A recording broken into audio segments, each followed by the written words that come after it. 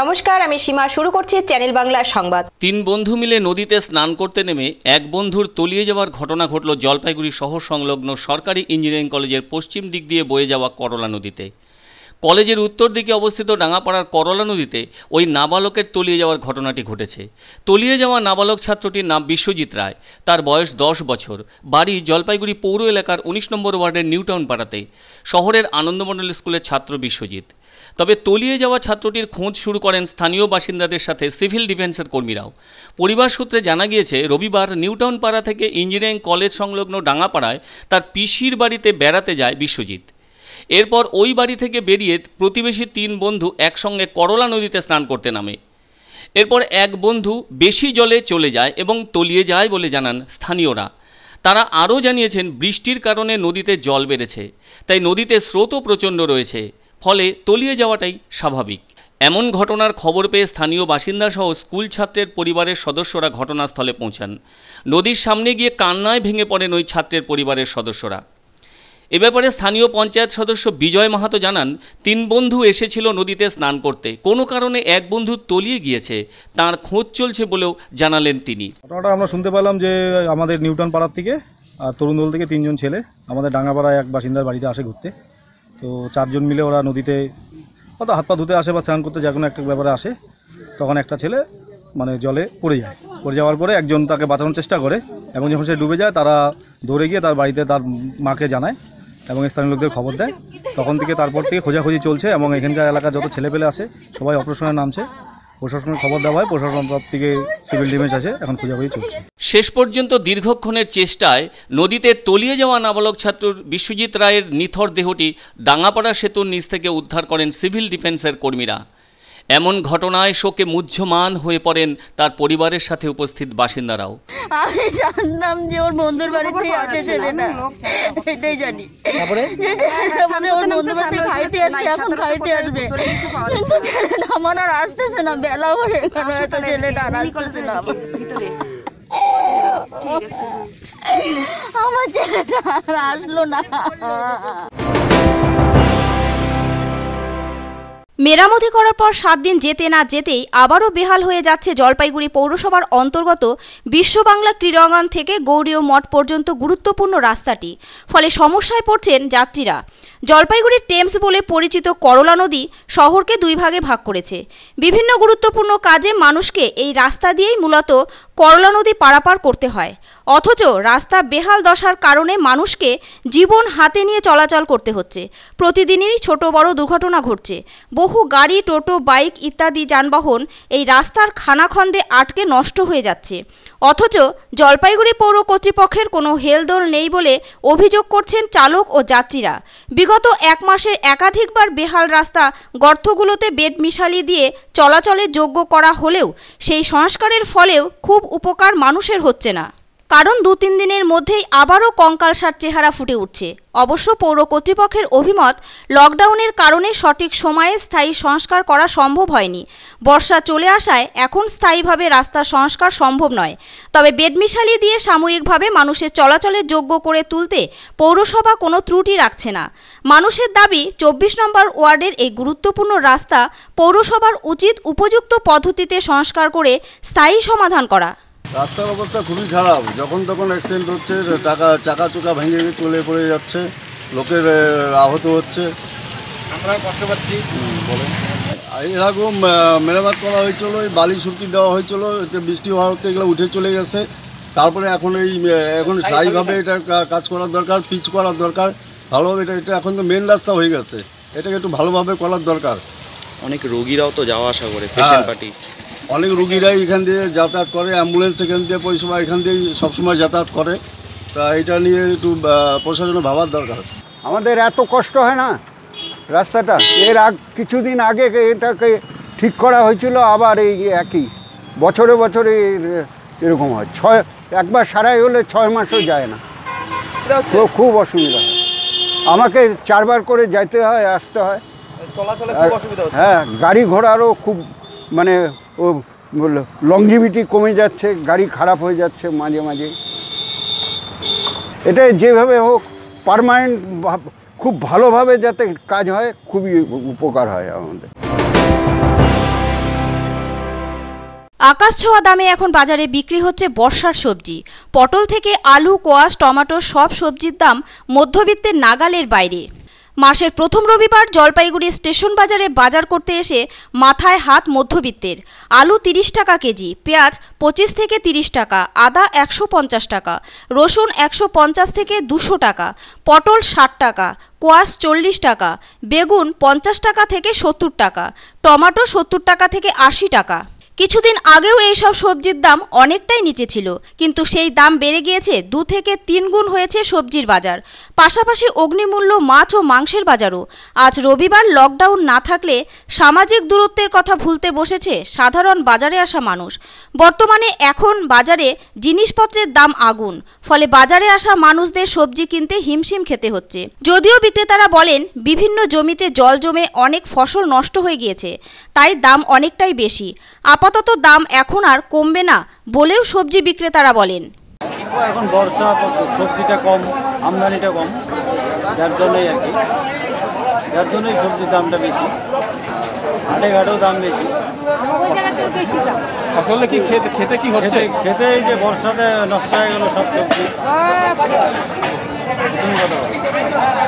বর্ষাতে এই সব সবজি নষ্ট হতে এখন একটু দাম বেশি। কতদিন থাকবে? দাম কি বাড়বে? ওটা আবার নতুন বন্যা হওয়া পর্যন্ত এরকমই থাকে। কী বলতে অসুবিধা কাস্টমার পাওয়া যাচ্ছে না কাস্টমার ঘুরে যাচ্ছে। এত দাম। এর আগে ছিল কম দাম এখন বেশি। ডবল মানে আগের থেকে দ্বিগুণ। ডবল দামে বিক্রি ডবল দামে বিক্রি হচ্ছে বা আনতে হচ্ছে। একদম আকাশ ছোঁয়া। আমাদের মতন মধ্যবিত্ত গরিব, সাধারণ মানুষ, পক্ষে একটু অসুবিধাই হচ্ছে। তার মধ্যেও কিছুটা চালিয়ে নিতে হচ্ছে। কৃষকদের স্বার্থ কিছুটা দেখতে হবে। এই জল ঝড় বন্যা, চারিদিকে, এরাও সবজিটা বাজার মানে ক্ষেতের থেকে তুলতে পারছে না ঠিক মতন। সব বন্যায় ভেসে গেছে। এদেরকেও দেখতে হবে। সরকারের উচিত এদের দিকেও লক্ষ্য দেওয়া এবং জনসাধারণের দিকেও কিছুটা উচিত সরকারের দেখা। সবজি বাজার প্রচণ্ড অগ্নিমূল্য একদম। সব কিছুর দামই বেশি। আলুর থেকে শুরু করে পটল হ্যাঁ? তারপরে যে কোনো জিনিসে ঝিঙা বলুন আলু বলুন সব কিছুর দামই বেশি। সাধ্যের বাইরে। একেবারেই। কতটা অসুবিধা হচ্ছে আপনাদের? হ্যাঁ হ্যাঁ অবশ্যই অসুবিধা হচ্ছে। একে লকডাউন তাতে এই অবস্থায় তো বুঝতেই পারছেন যে মানে বাজারের যা অবস্থা তাতে মানে সাধারণ মধ্যবিত্ত বাজার করা খুব অসুবিধা হয়ে গেছে তাদের। টোটো বিস্ফোরণ কাণ্ডে পাঁচ দিনের মাথায় মালদা শহরে এলো সেন্ট্রাল ফরেন্সিক দলের দুই আধিকারিক। রবিবার সকালে তারা মালদা শহরের ঘোড়াপীর ঘোষপাড়া এলাকায় বিস্ফোরণ কাণ্ডে তদন্ত শুরু করেন। ঘটনাস্থলে গিয়ে তারা বিস্ফোরণে উড়ে যাওয়া টোটোর ব্যাটারি ও অন্যান্য যন্ত্রাংশের নমুনা সংগ্রহ করেন। বেশ কিছুদিন ধরেই ওই এলাকার বাসিন্দারা ফরেন্সিক দল না আসায় বিক্ষোভ দেখাচ্ছিলেন। স্থানীয় বাসিন্দারা সেদিনের ঘটনা ফরেন্সিক দলের সদস্যদের কাছে সবিস্তারে তুলে ধরেন। এদিকে মালদার পুলিশ সুপার অলোক রাজরিয়া জানিয়েছেন টোটো বিস্ফোরণ কাণ্ড নিয়ে তদন্ত শুরু হয়েছে। ফরেন্সিক দল তদন্ত করছে। তাদের রিপোর্টের ভিত্তিতে বিশদভাবে এ সম্পর্কে বলা যাবে। এই বিস্ফোরণ কাণ্ডে ইসমাইল শেখ নামে এক তিরিশ বছরের যুবক প্রাণ হারান। তার বাড়ির লোকেরা ইতিমধ্যে সিবিআই তদন্তের দাবি জানিয়েছেন।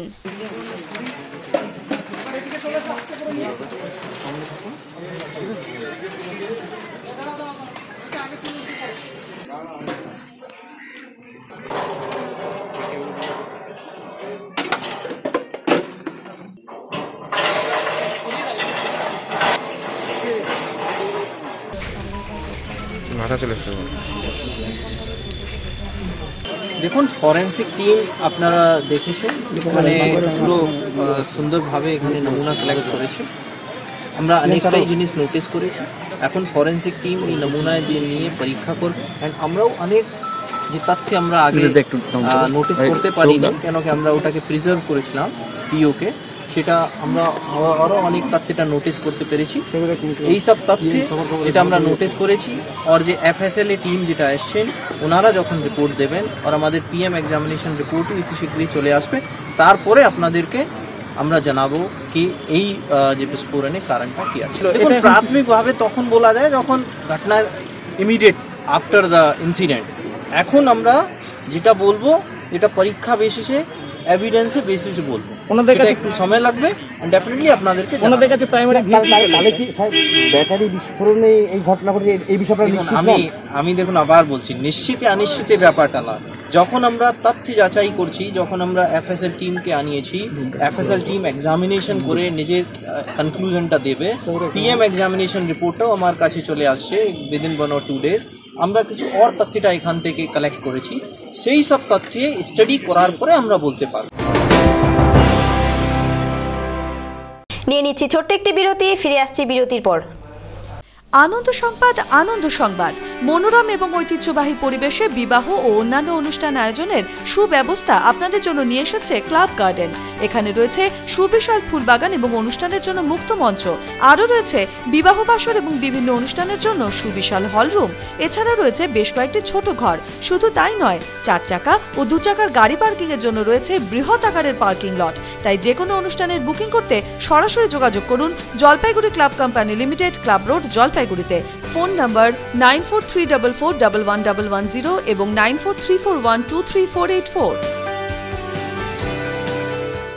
আপনি কি মার্বেলের বিপুল সম্ভার থেকে আপনার পছন্দের মার্বেলের কিংবা গ্রানাইট ইত্যাদি বেছে নিতে চান? তাহলে চিন্তা করছেন কেন? জলপাইগুড়ি শহরের রাজবাড়ি গেটের উল্টো দিকে আপনার জন্য অপেক্ষা করছে সানরাইজ মার্বেলের সুবিশাল শোরুম। যেখানে আপনি পাবেন সব ধরনের marble, granite, tiles, Kota stone ইত্যাদি। বিভিন্ন ডিজাইনের সঙ্গে এখন থাকছে ছোট, বড়, রকমারি সাইজও তাই সোজা চলে এখন এমআই স্টোর জলপাইগুড়িতে প্লাম প্লাজা প্যাটেলুন্সের গ্রাউন্ড ফ্লোরে এমআই স্টোরে পাচ্ছেন এমআই ফোন, নোটপ্যাড, ক্যামেরার বিপুল সম্ভার আর পাবেন আধুনিক যুগের পছন্দের এমআই টিভি। মনে রাখবেন, এমআই স্টোর হল কম্পিউটার প্লাজার একটি নতুন উদ্যোগ। কম্পিউটার প্লাজা মানেই কুড়ি বছরের বিশ্বস্ত প্রতিষ্ঠান। এমজি রোড, সেন্ট্রাল গার্লসের পাশে। Phone number nine four three four zero zero five nine double three.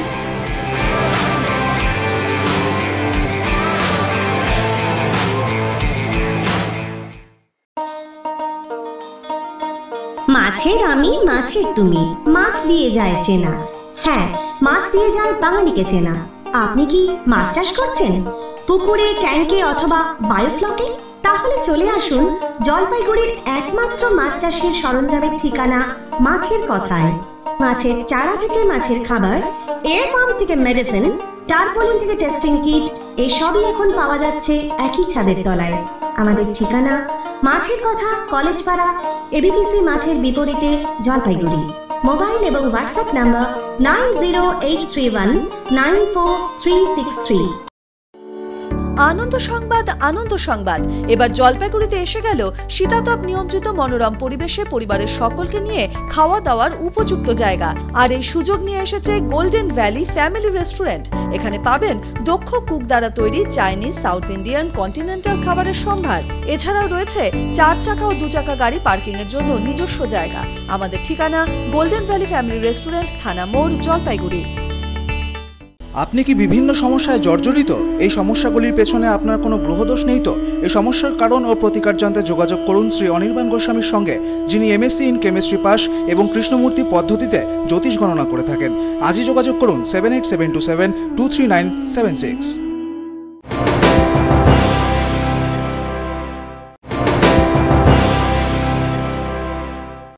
ভর দুপুরে আলমারির কাজ ভেঙে প্রায় পঁয়ষট্টি হাজার টাকা চুরি করে পালালো দুষ্কৃতীরা। ওই চুরির ঘটনায় রীতিমতো চাঞ্চল্য ছড়ালো জলপাইগুড়ি শহরের চোদ্দ নম্বর ওয়ার্ডের পাণ্ডাপাড়া বৌবাজার এলাকায়। ওই এলাকার বাসিন্দা সুকুমার দাসের বাড়িতে চুরি হয়েছে। পরিবারের দাবি, রবিবার দুপুরে বাড়ির সামনে থাকা নিজেদের চায়ের দোকানে ছিলেন সুকুমার বাবু ও তার স্ত্রী ডলি দেবী। সুযোগ বুঝে দুষ্কৃতীরা বাড়ির পেছনের দেওয়াল টপকে সুকুমার বাবুর বাড়িতে ঢোকে। এরপর আলমারির কাজ ভেঙে গচ্ছিত টাকা নিয়ে চম্পট দেয় দুষ্কৃতীরা। একসময় ঘরে ঢুকে দেখতে পান তার আলমারির কাজ ভাঙা। তারপর দেখতে পান আলমারিতে যে টাকা রাখা ছিল তা নেই। খবর পাঠান কোতোয়ালি থানায়। চুরির ঘটনা শুনতে পেয়ে স্থানীয় মানুষজন চলে আসেন ঘটনাস্থলে। এরপর জানা গেল মাস কয়েক আগে এক বেসরকারি ব্যাংক থেকে আশি হাজার টাকা ঋণ নিয়েছিলেন সুকুমার বাবুরা। এরপর সেই টাকা ওই আলমারিতে রেখে দেন। সেখান থেকে এদিন ওই টাকার মধ্যে পঁয়ষট্টি হাজার টাকা চুরি করে পালিয়ে যায় দুষ্কৃতীরা।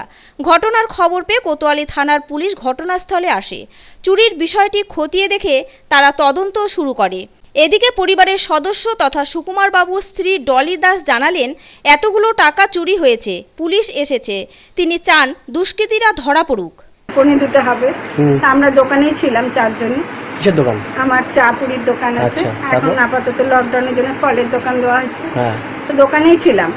তো দোকানে আমরা চার দুই ছেলে আর আমার স্বামী আমরা চারজনে দোকানেই থাকি বেশিরভাগ। আসি যাই বাড়িতে ঢুকি এই জন্য লক করা হয় না বাড়িটা তালা মারা হয় না। মানে ঘণ্টার মধ্যে দু তিনবার করে আসি কেউ না কেউ। তারপরে? দশ মিনিট আগেও আমার ছেলে জল নিয়ে গেছে ফ্রিজ থেকে। দশ মিনিটের মধ্যেই এই ঘটনা আমার হাজব্যান্ড দেখল দেওয়াল দেখে টপকাইলো লাভ দিল। ও রাস্তার গেটের ওখান থেকে। তো লাভ দিচ্ছে লাভ দেওয়াতে আমাকে বলে কে যেন লাভ দিল আমার দৌড় দাও। দৌড়াই আস্তে আস্তে চলে গেছে ধরতে পারে একজনকে দেখছে? হ্যাঁ একজনই। একজনই আমার এই কল আসছে পর পরে কি নিছে কীভাবে ঘর থেকে? এই আলমারি শুধু আলমারি ভাঙে আলমারির ভিতরে যা টাকা পয়সা ছিল আমার সারা ঘরের মধ্যে যেখানে টাকাটা আছে সেই জায়গাটাই আর আর কিচ্ছু ধরে ঘরে আমার যেরকম জামা কাপড় বিছানা করতে কিচ্ছু ধরে না, টাকা, cash সব টাকা। রকমই পড়ে আছে। বাড়িতে আমি প্রত্যেকবারই বন্ধন নেই টুকটুক করে ঘর এটা সেটা করি। হ্যাঁ শোকেজের কাজটাই ভাঙছে আর কোনো কিছু ধরেনি। নিচের লকারটাও ঠিক আছে। নিচের লকারটাও ভাঙেনি। শিলিগুড়ির ইস্টার্ন বাইপাস রোড সংলগ্ন নিরঞ্জননগর এলাকার এক বাড়িতে ঢুকে মাথায় বন্দুক ঠেকিয়ে এক যুবককে অপহরণ করে নিয়ে যায় দুষ্কৃতীরা। শনিবার রাতের এমন খবরে উত্তেজনা ছড়ায় আশিঘর আউটপোস্ট এলাকা জুড়ে। অপহৃত ওই যুবকের নাম ছোটন সিং। পেশায় ছোটন একজন ইভেন্ট ফটোগ্রাফার। পরিবার সূত্রে জানা গেছে, শনিবার গভীর রাতে একদল দুষ্কৃতী আচমকা ওই যুবকের বাড়িতে ঢোকে ও তার এবং তার ভাইপোর মাথায় বন্দুক ঠেকিয়ে ওই যুবকের মাথায় আঘাত করে তাকে তুলে নিয়ে যায় বলে অভিযোগ পরিবারের। তবে অপহরণের আট ঘণ্টার মধ্যেই ফিরে আসে ওই অপহৃত যুবক ছোটন সিং বলে জানান পরিবারের সদস্যরা। তবে ওই যুবকের শরীরের বিভিন্ন জায়গায় ধারালো ব্লেড দিয়ে চিরে দেয় ও লাঠি দিয়ে আঘাত করে অপহরণকারীরা বলে অভিযোগ ছোটনের। তিনি আরও জানান, তাকে নাকি মেরে ফেলে তিস্তা ক্যানেলের জলে ফেলে দেওয়ার ষড়যন্ত্র করেছিল অপহরণকারীরা। কিন্তু শিলিগুড়ি ভক্তিনগর থানা ও আশিঘর আউটপোস্ট পুলিশের সহযোগিতায় সে প্রাণে বেঁচে যায় বলে জানান ছোটন সিং। তবে কী কারণে শনিবার রাতে তার সঙ্গে এমন ঘটনা ঘটালো অপহরণকারীরা, সে ব্যাপারে কিছুই বুঝে উঠতে পারছেন না বলে জানান ছোটন সিং ও তার পরিবারের সদস্যরা। এদিকে পুরো ঘটনাটির তদন্ত শুরু করেছে শিলিগুড়ি আশিঘর আউটপোস্ট থানার পুলিশ। তবে এই ঘটনার পেছনে বেশ কিছু কুখ্যাত অপরাধীর নাম পুলিশের কাছে বিস্তারিতভাবে জানিয়ে দিয়েছেন বলে ওই অপহৃত যুবক জানিয়েছে। চ্যানেল বাংলা পরিবেশিত সংবাদ এখনকার মতো এ পর্যন্তই নমস্কার।